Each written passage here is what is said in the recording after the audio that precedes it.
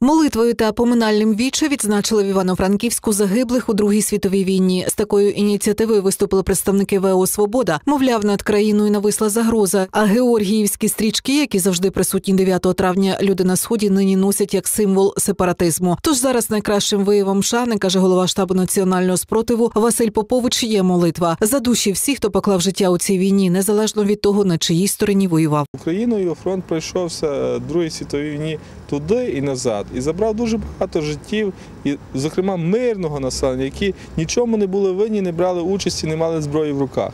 Тому сьогодні треба пам'ятати про тих людей, вшановувати, молитися за їхні душі і сьогодні не давати можливості на 9 травня е, різним політичним таким силам провокувати якісь певні конфлікти, протистояння. Сьогодні, як ніколи, Україна єдина, і нам не потрібні оці провокації. На поминальне віче завітав український виконавець Тарас Житинський. На його думку, відзначати 9 травня треба, оскільки і звичайний солдат, котрий загинув за свою країну, вартий, щоб про нього пам'ятала. Відтак загиблих героїв різних армій музикант вшановує своєю творчістю.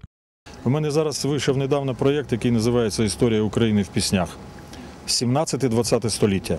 Тобто цей період 300 років. І якраз там козацькі пісні, пісні січових стрільців, і української повстанської армії, радянської армії, УНАУНСО, Афган, прикордо... українських прикордонників. Гучні святкування та помпезні урочистості вважають свободівці 9 травня недоречні, адже вони стають ще й зайвим приводом для провокацій, у той час як достатньо покласти квіти на могили ветеранів та помолитися за їхні душі.